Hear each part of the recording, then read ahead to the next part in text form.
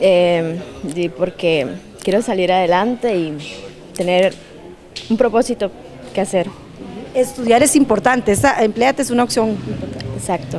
Por una nueva oportunidad para saber y comprender más y tener más conocimiento.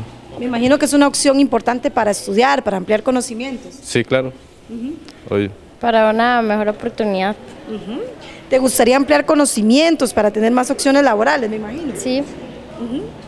¿Hace cuánto estás inmersa en eso para venir al programa Empleate? Hace como dos meses. Esta es la opinión de tres de los jóvenes quienes fueron convocados este miércoles para realizar la prematrícula para el programa Empleate en Pérez Celedón. Fue organizada por la Oficina de Intermediación Laboral de la Municipalidad de este cantón.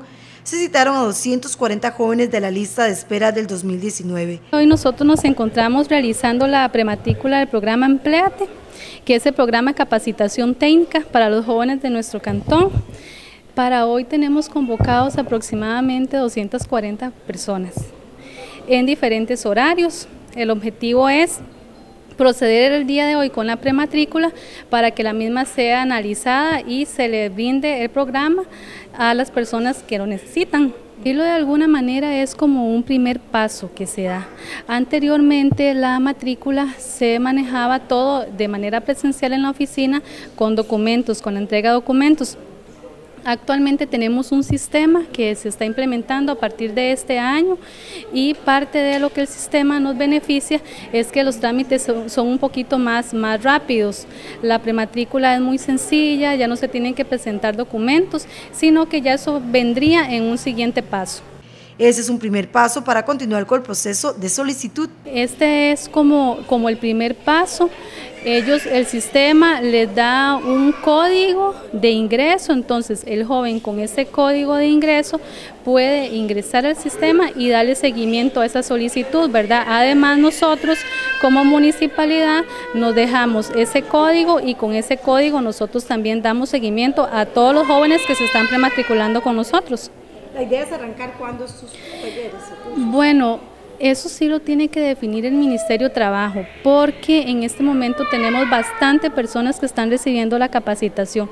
Tenemos más de 400 personas estudiando Empleate en este momento. ¿En qué áreas se enfoca la formación? Bueno, nosotros nos enfocamos en áreas estratégicas, de acuerdo a la demanda. Entonces, lo que solicitan las empresas, en esas son las áreas en las que podemos justificar y brindar la formación a los jóvenes.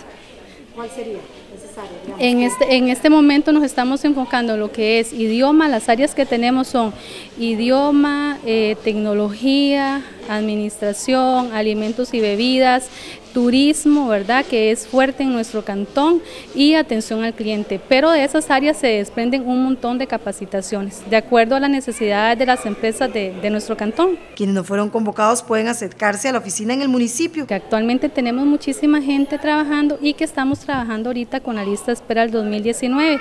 Igual la oportunidad nosotros se la brindamos a todas las personas. El objetivo es colaborar en todo lo que podamos a nuestra población. Ellos pueden presentarse a la municipalidad.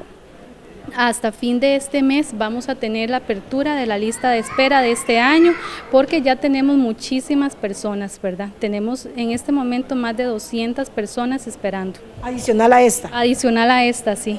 Entonces, una vez que salgamos con estas personas que tenemos del año anterior, procedemos con la lista de espera de este año. Este proceso se hizo con jóvenes de la lista de espera del 2019. Aún no se convoca la lista de este año. El programa Empleate se coordina por medio de un convenio con el Ministerio de Trabajo y Seguridad Social.